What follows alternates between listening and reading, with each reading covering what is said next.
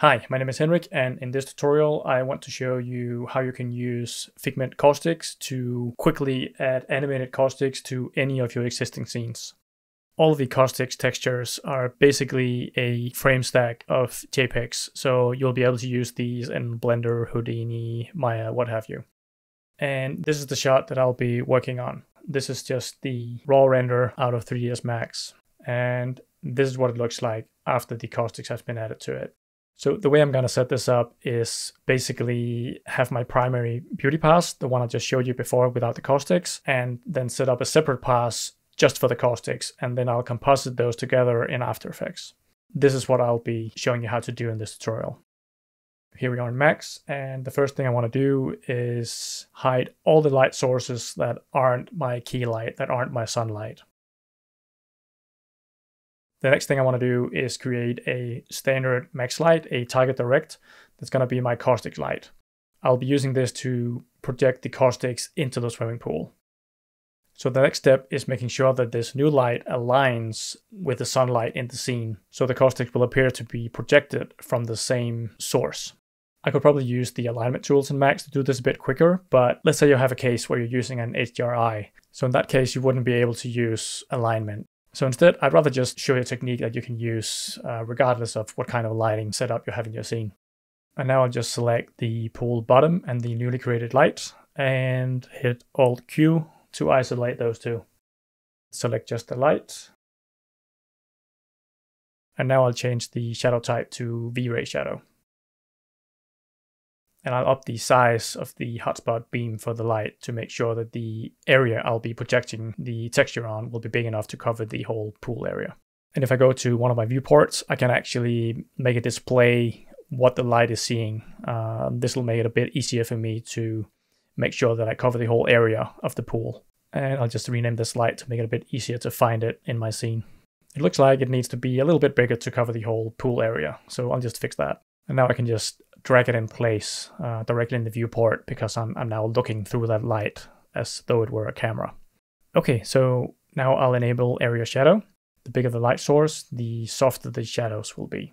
And this is set to sphere, which is what I want. And let's up the multiplier a bit and then give it a really wacky color. So it's going to be easier for us to match it up to the other sunlight. You'll see what I mean in a second. So let's exit isolate. And because right now I only want to be focusing on aligning these two light sources. So I'll open the material editor and I'll make this new standard V-Ray material, rename it to gray, open up the render settings, navigate to V-Ray and then enable override material and just drag the new gray material in there as an instance. And I'll disable GI for this. And I'm also using a V-Ray sky for this. So I'll just hit 8 to open up the environment and effects window and disable the environment map. And in the interest of making it as easy as possible for me to see what I'm actually doing with matching up these lights, I'll be hiding the water object as well. So I won't be looking through refraction to try and guess what's happening at the bottom of the pool. And this is what it looks like right now. I have a sunlight that's tinted a bit warm and I have my direct caustics light, which right now is just this harsh pink. And as you can see, there's a bit of an overlap between the two, and that's because they haven't been properly aligned yet. So when I move the light about, I get this sort of doubled exposure. And my goal here is to have as little of an overlapping edge as possible between these two light sources in the shadows. And I'll just be moving this light around on two axes and see if I can get them to match up properly.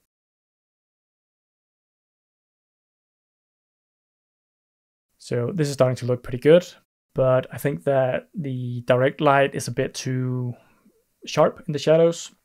So I'll head down to the V-Ray shadows parameters and see if I can get the softening of the shadow to match up a little bit better to the sunlight. And I'm, I'm basically eyeballing it here. Okay, so now that the two lights are matched up in terms of direction, I want to copy the color tint that I have on the sunlight. So I just select the sunlight, copy this color, and paste it onto the new light. Next up, I'll disable the V-Ray sunlight and I'll do this just by hiding it in the Scene Explorer. This of course only works because in the V-Ray global switches, I have disabled the render hidden lights feature. And actually, let's enable the water surface as well. And I'll open up my render settings and disable the override material, and I'll enable GI again. And when I hit render, I have something that looks very close to my original image. I still have my V-Ray sky turned off, but this is on purpose. I need this path to be just caustics, no extra sort of soft light. Okay, so at this point, we're finally going to add the actual caustics into the scene. Open up the material editor, drag it over here, and add a new V-Ray bitmap. Navigate to my textures. So for this specific scene, I think the style of caustics I want to use is probably pool. And the depth level, I would say, is about in the middle. So let's select deep for this and hit sequence. And I'll just rename this so it's nice and neat. And let's change the color space transfer function from auto to none, as this will give you a better dynamic range for the texture. And if you're working in ACES, which I am for this project, change the RGB primaries from default to raw. And next up, I want to make sure that the playback rate of the animated caustics texture is matching that of the animated water as closely as possible. For this scene, I used an animated displacement map from my Figment water texture collection. And I can see that the playback rate for that texture happens to be 2. Both the caustics and water displacement textures I'm using here have actually been generated from the same source maps. So in this case, it's really easy to match them up. I just need to make sure that the caustics have a playback rate of 2. But if you're not using my displacement maps for the water, that's totally fine. You just have to match the playback rate of the caustics texture to whatever kind of water setup you have in your scene. A playback rate of 2 or 3 will give you something that looks like real time, depending on your project frame rate, and a playback rate of 1 will give you something that looks like slow motion. So I'll just set that to 2 and select my light and now I just need to plug in the caustics texture into the projector map.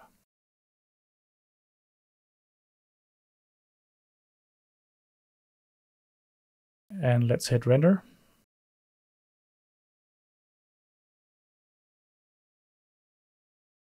All right, so now we're getting somewhere. Uh, this is obviously way too big. We'll just fix that by upping the tiling of the texture. Uh, this is something you just need to play around with in your scene. you might have spotted that the caustics are everywhere. I mean, they're they're inside the pool, which we want, but they're also on the tiles, on the windows, on the plants. They're they're everywhere. Don't worry, we're gonna fix it.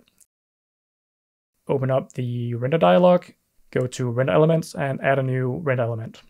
Since all the caustics that I do want to keep are all below a refractive surface, I can use the V-Ray refraction render element to isolate that. And when I render again, I'll have an extra pass up here that I can select and see. But because the water is not the only refractive element in the scene, you will also see the glass show up up here. And I'm actually still getting a beauty render uh, of everything that's outside the pool. And that means that we're wasting time rendering all the stuff that we won't be using anyway. But thankfully, there's a very easy way to fix this in V-Ray. So I'll just close the render window select the water surface and then give it a name up here, which will make it into a selection set. You don't have to do this, but it'll just make it a little bit easier to find if you have a lot of objects in your scene. Open up the render dialog and head down to the V-Ray image sampler. And then under render mask, you just select include exclude list and hit the include button. And I'll just find my selection set in the drop down menu. And that's it you can just close this window. And when we hit render now, we just get the pool, both in the beauty and in the V-Ray refraction. These two look almost identical, but actually in the beauty pass, you will have stuff like reflections, highlights, stuff like that showing up on the pool surface. In the V-Ray refraction pass, you get just the refraction. And when we use this pass to composite on top of our main beauty pass, we just want the caustics to be added and nothing else. Now I just need to render out the entire sequence and then head on into After Effects for final compositing. Now I've rendered out the entire sequence, and this is what my different passes look like in After Effects. I have a still image that's just a beauty render of the whole scene, and then I have the animated water without caustics. And finally, we have the V-Ray refraction pass. I have saved all images as EXR 16-bit half float, and for all the footage in this project, I have set it to ignore alpha, and under color management, I've set it to preserve RGB, effectively disabling any color management. And if I go into project settings, you'll see that I've set this to 32 bits and my working space is set to none. And I've enabled blend colors using 1.0 gamma. And my assumed working gamma is 2.2. These are the settings that work for me. And I just want to show you how I've set it up for this project. So I'll just drag the pool sequence down to create new composition. This way my composition will have the exact resolution and length of the sequence. And we'll just call this composition pool caustics. Drag the caustics down on top. And the still image on top of everything else. So now what I want to do is actually cut a hole through the still image to reveal the animated pool beneath it. So I just set the opacity to something low like 5% so I can see the layer below it and use the pen tool to just cut the area out. And set the opacity back up to 100 and invert the mask. And now I'll make the caustics layer visible and change the blending mode from normal to add. And now when I scrub the timeline, we have animated caustics. They're a little bit weak right now, but we can change that by adding an exposure filter to them. But before we do that, let's set up the conversion from ACES color space to sRGB. So I'll just add a new adjustment layer and add a OpenColorIO and change my input space to ACES CG and change the output space to sRGB. So as you can see, when I switch this off and then back on, there's, there's quite a big difference in how it's being displayed. Obviously, you don't need to be using ACES in order to use Figment Caustics. I just think it makes my renders look more realistic. So now that I have an adjustment layer on top converting all the ACES footage to the color space I want, I want to go in and adjust the exposure for just the caustics. So I'll just add the exposure filter and as you can see, when I drag the exposure spinner, I get almost instant feedback, which is really nice. This is one of the advantages of rendering out caustics as a separate pass that is really easy to go in and then switch up the exposure or even the color to an extent. Let's just leave it at 3. And here's the final results. For this tutorial, I used the Figment Caustics pool texture and its displacement counterpart from the Figment Water texture collection. If you want to check out either of the products, I have left links below the video. And remember that there's a sample that you can download for free. And if you want to learn more about working in ACES with V-Ray or After Effects, I've put a few links to videos you can watch below this video. I hope you found this tutorial useful and thanks for watching.